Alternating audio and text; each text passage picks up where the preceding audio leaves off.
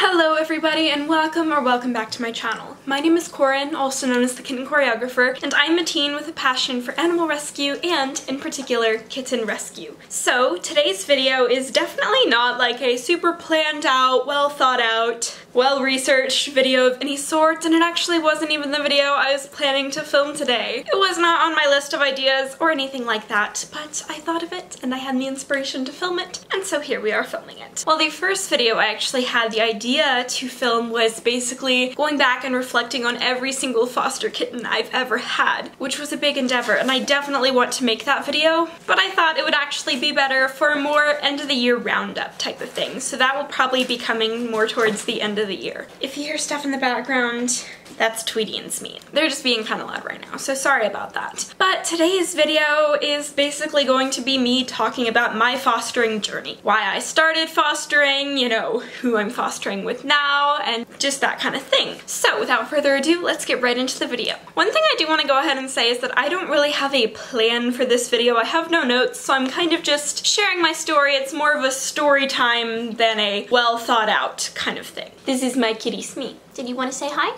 Your sweet kitty? Sweet kitty. I think he just wanted to get to his bed over there.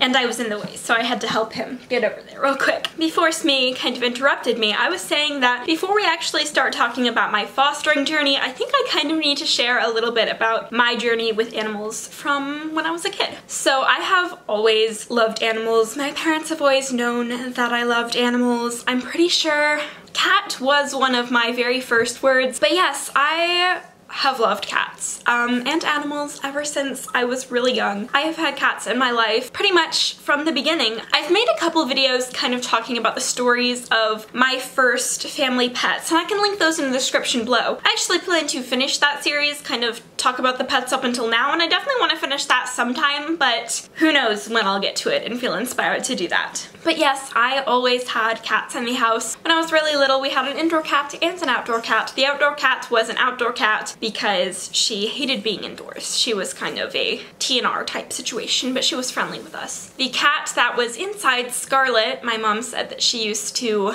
watch over me. She would sit on the changing table and watch me while I slept not a creepy way in a I'm protecting you type of way. And I don't know, I've just always gotten along really well with cats. I've always loved them. I got my first personal cat when I was four. Her name was Mittens and I loved her very dearly. I'm not gonna go too in depth with the cats I've already made videos on. Like I said, those will be linked in the description below. They're pretty old, but they tell the stories all right. I just, I loved them. We got my second family pet when I was five. His name is Jewel. I still have him. He's like 11 years old now, I think. And then a few years later we got Sunstream in like second or third grade for me, not sure which one. And so we have him. And then when I was in sixth grade we got Serena. And honestly, I've kind of known what fostering kittens was for a really long time. I kind of posed it as, oh, we should do this a, a little bit when I was really little, but of course my parents didn't want to do that, you know?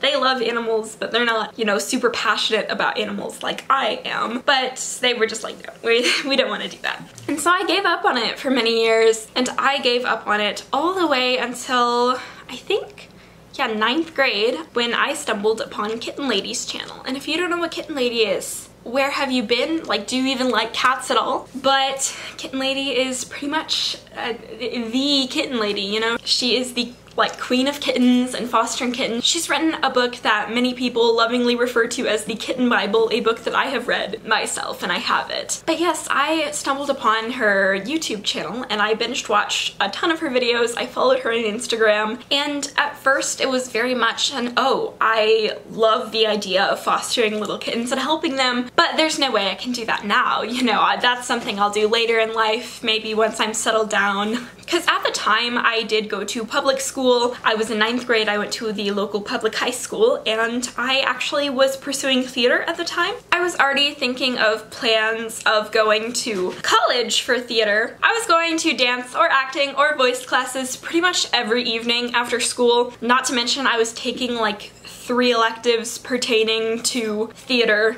or voice at the school. And so I was just really wrapped up in that. You know, I really wanted to pursue a career in theater, but uh, theater didn't end up working out for me. I struggled a lot just at school because of social anxiety, and I ended up wanting to drop out of school to do online school. And at first I didn't want to drop out, um, despite having severe social anxiety and just anxiety in general and not even being able to get out of bed to go to school some mornings. I actually had to, you know, have some like benefits given to me because of my anxiety, like unlimited bathroom passes so that I could take walks if I needed, or even just like extra sick days. But it still was really hard for me and it was starting to just look like at that point in time I just couldn't go to school. And me realizing that I couldn't go to school kind of made me start thinking about theater. And for some reason, I didn't have any anxiety about performing in front of people. It was almost as if when I was acting as someone else, it wasn't as scary because, you know, it wasn't me. It was someone else up on that stage, a character. But when it was in real life, even just talking to people that I knew, it was impossible at that time. I did know that if I wanted to pursue a career in theater, I did have to stay at school. I honestly thought that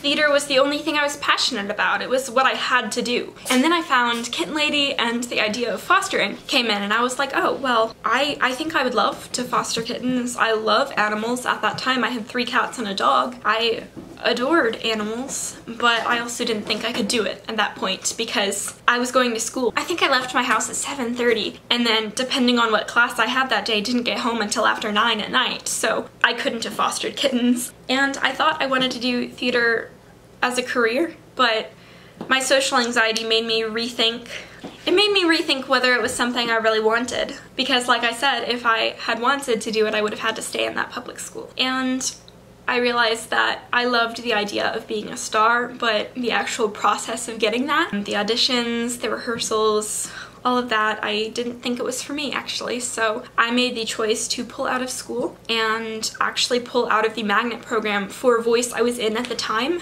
in the school and go back to homeschool because I actually was homeschooled in eighth grade or online schooled during eighth grade for social anxiety and I decided to go back to public school in ninth grade for theater purposes and then I was pretty much dropping theater. I did dance for a little while after that still but I eventually stopped that too. It wasn't my thing but I pulled out of school and as I was thinking about pulling out I realized that hey I could foster kittens if I pulled out the only thing that was keeping me from fostering kittens in the first place was me going to school and to uh, classes all the time. But if I didn't go to school, then I'd have a lot of time to foster kittens. And at first my mom said no. At first she was absolutely against it. No, no, no, there's no way we're doing that.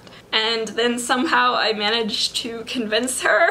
And then I managed to convince my dad, you know, I managed to convince them that, hey, let's just try it out fostering kittens could be really good for me. We had it set up where as soon as I pulled out of school, I did not get foster kittens right away. I think I dropped out of school in October, or November of my ninth grade year, and then I had to restart the school year over and I don't remember when I actually ended up finishing that year. It was pretty well into the summer, but my mom had basically said, let's wait until January before we even apply to foster any. That was the yes, and I was so excited that year for Christmas. I asked for so many supplies for foster kittens. You know, I got my first thing of formula, I got a ton of, you know, bottles, and what else did I get? You know, I got beds and lots of things. Um, we got a cat tree for the foster room, which is my bedroom, the one I'm in right now. We actually have a different cat tree right there because that one got old and nasty and worn out. But yeah, that's when I started my journey. We applied to foster at several places at first because I knew that we were starting fostering in January, which is not kitten season, and there would be less kittens. So we applied for two local humane societies and a couple other rescues. Just as like, hey, we can foster. And I knew from the beginning I wanted to foster bottle babies, but I also knew bottle babies are the hardest to foster. So I was open to, you know, moms with babies and wean kittens at first. And that is some of the first things that I did. My very first placement was with the local humane society, and I had a pretty good experience working with them. It was a mama cat and her two babies. If you go back and look at some of my very first videos, you will see them. I loved them very much. I wanted to foster fail the mom, but I didn't. I get updated pictures of the two kittens sometimes because they did get adopted together by a couple of my mom's friends, but I, I don't know where the mama cat went. That's one big downside to fostering with a shelter is that you don't normally get to meet your adopters, at least the ones that I fostered through. My second foster placement was with another local shelter of the like town right over, but it wasn't that far away because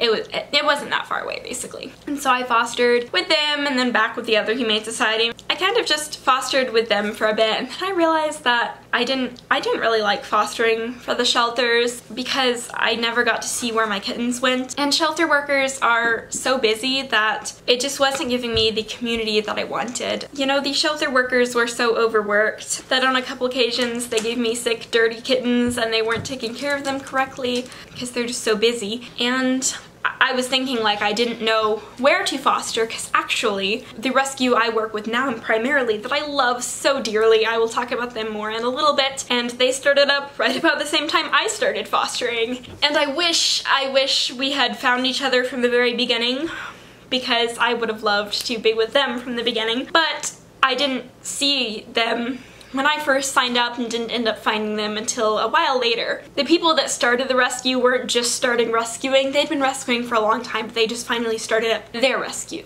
Um, but I wish I'd found them from the beginning, but I didn't. But we will get to them and talk about how amazing they are in a little bit. And so then, probably about the summer of 2020, I saw an urgent plea for a foster home for two disabled kittens. Those kittens were Charlotte and Lewis. I posted a lot about them on my channel, and I still occasionally foster for this rescue. Sometimes I actually have a couple foster babies for them now, but this rescue is Kentucky Pets Alive in Louisville, Kentucky, and I will link like their socials down in the description below. They are amazing. I love them. The only reason I don't foster with them as much anymore more is because they are in Louisville and I am in Lexington, which is about an hour and a half away, and so it is kind of a distance to get to the vets and the adoption events. They do work with a vet in Lexington, so if we have an emergency, we can go there, but they do like all the spays in Louisville, so it's, it's just kind of hard to get to them. So I do foster with them sometimes, but it's not the rescue I foster primarily with anymore. I have nothing against them though, I will say that. I love them, they're great, but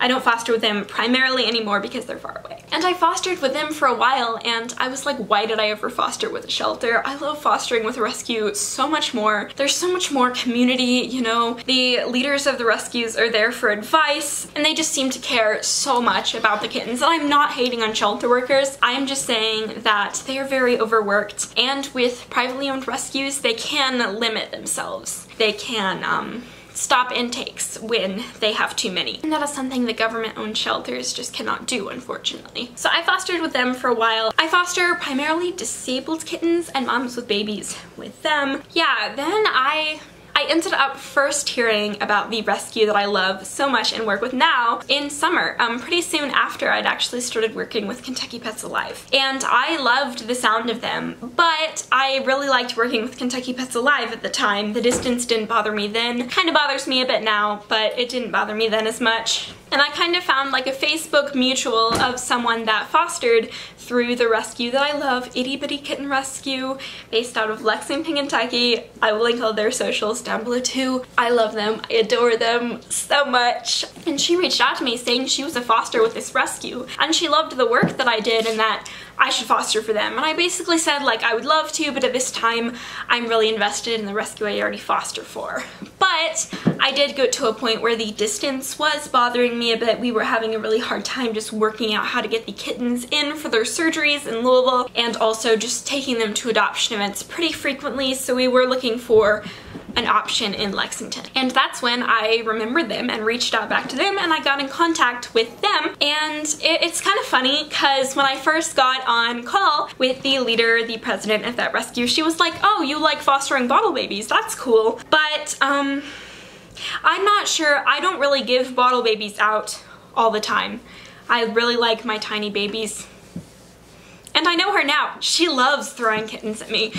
but I do think it was very much, oh, she didn't know me. I'm this random teenager that called and said that I like to foster bottle babies. Of course, she's just not gonna give me tiny bottle babies. But we talked on the phone for quite a long time, probably an hour and a half, which I thought was really strange at the time. Now we love chatting, we love chatting. I'll call her all the time. But yeah, and she ended up uh, saying come over tonight and pick up bottle babies. So I got my first bottle babies with them. I think they were Nova, Orion, and Aurora Smee, what are you doing, sir? And I ended up giving them up before adoption age so that I could take more bottle babies. I have since stopped doing that. I keep my kittens through adoption age so I can have a mental break between bottle babies. I need that break. I need the few week break from when kittens are weaned to they're adopted and get more babies. I just look, I need the break, I need the sleep. And I've been fostering with them pretty much ever since. And I did foster with an independent rescuer for a short period of time. I did um, cut ties with her just because some of our practices in spaying and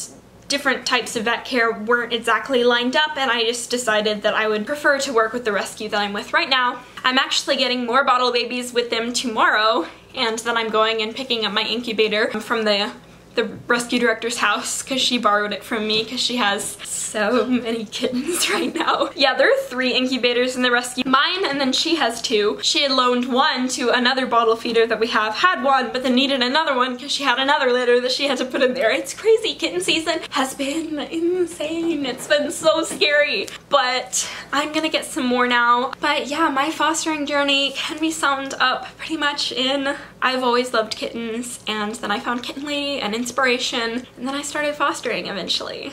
And I think a lot of people see fostering as something so hard and unachievable. And yes, it is hard, but it's so amazing. I say pretty frequently that fostering is one of the best things that has ever happened to me. The joy I get from kittens is so immense. It is so amazing and I love kittens. I found my best friend, Smee, from fostering kittens. Okay, my card just got full and I had to delete some stuff, so we're back. And yeah, I found some great mentors and it's just been so amazing. Highly, highly recommend fostering. And this video might not have been as informative as others, but I hope you still enjoyed it. So yes, that is my fostering journey. Thank you so much for watching. If you like this video, make sure to like it and subscribe for more kitten-related content. I upload on Sundays and Wednesdays if I can, and if I can't, then I upload whenever I want to. Also, please make sure to leave any thoughts or questions that you have down down in the comment section below. Thank you so much for watching again, and goodbye!